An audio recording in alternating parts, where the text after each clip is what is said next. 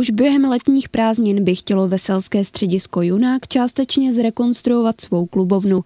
Ta dostane nový vchod a kuchyňku. Rozhodli jsme se kvůli tomu, že vlastně klubovna nevyhovuje eh, bezbariérovému přístupu, takže jsme chtěli přebudovat vlastně vchod a tím pádem nám vznikl nový prostor pro kuchyňku a samozřejmě taky musíme přebudovat sociálky, zastávající nejsou vhodné vlastně pro vozíčkáře. O tom, že se mohou definitivně pustit do vybudování nájezdové rampy a dalších úprav, rozhodli veselští zastupitelé, kteří jim přidělili dotaci ve výši 97 tisíc korun.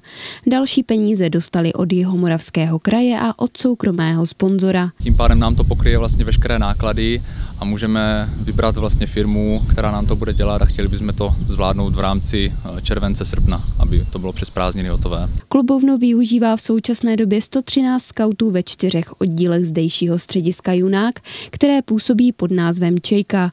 Podle Miroslava Jagoše je ale velikost klubovny dostatečná. Do budoucna by ji skauti chtěli zateplit a vytvořit koutek s ohništěm.